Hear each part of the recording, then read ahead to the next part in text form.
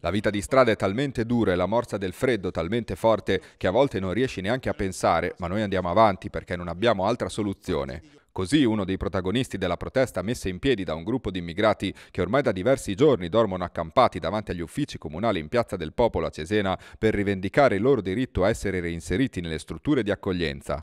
Abbiamo tutti i documenti in regola, ha spiegato quest'uomo proveniente dalla Nigeria che preferisce non mostrarsi in volto per paura delle ripercussioni che potrebbe subire la famiglia nel suo paese d'origine. Delle dieci posizioni di ieri almeno sei possano essere le persone che rientrano nei centri. Nelle prossime ore, appena i documenti saranno portati in prefettura e siamo noi come uffici comunali che ci siamo resi disponibili a fare questo percorso e la prefettura li ha vagliati. Profughi che sono stati ricevuti martedì in comune, anche se ci spiegano forse il termine ricevuti non è il più appropriato. Siamo dovuti entrare nel palazzo a forza perché nessuno ci ha chiamato per fare un incontro e soprattutto il comune non aveva la presenza di mediatori che potessero interfacciarsi con i migranti, per cui noi siamo dovuti intervenire anche in qualità di traduttori e interpreti delle loro necessità. A parlare una rappresentante di un gruppo di cittadini italiani che si sono fatti carico della protesta di queste persone, anche svolgendo il ruolo di mediatori con il comune.